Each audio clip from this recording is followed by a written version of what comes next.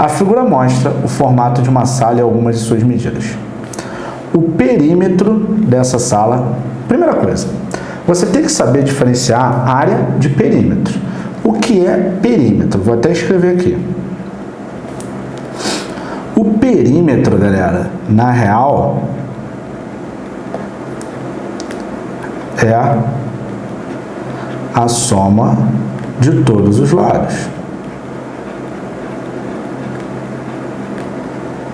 Perímetro, na real, é a soma de todos os lados.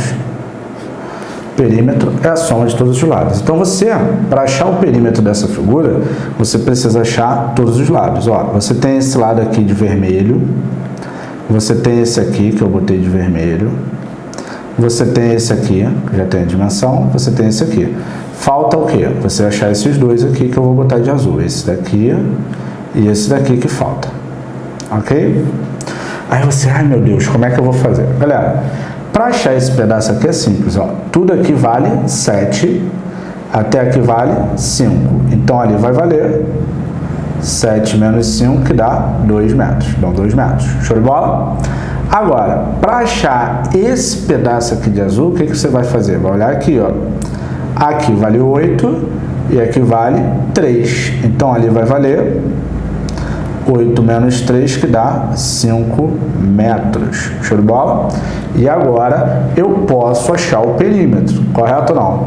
Como é que vai ser o perímetro? Vai ser a soma de todos os lados. 5, vou botar de vermelho, mais 8, mais 7, mais 3, mais quanto? Mais 2, que eu vou botar aqui de azul, tá legal? Mais 2, mais 5. Esse é o perímetro, tá? Porque o perímetro, na real, é a soma de todos os lados que você tem ali. Tá legal? Então, como é que vai ficar o perímetro? Só fazer essa soma. Vamos lá?